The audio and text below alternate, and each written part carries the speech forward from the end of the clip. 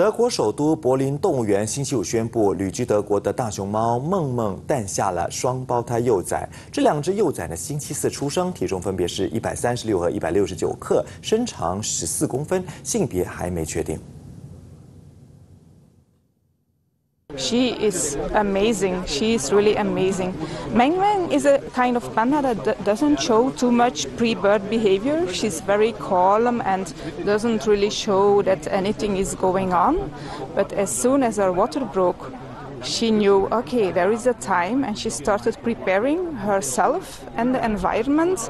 And at the moment the cubs were there, she was immediately very gentle uh, with them. She took them into her mouth and she took them into her arms to make sure they were warm and comfy. She has great mother instincts.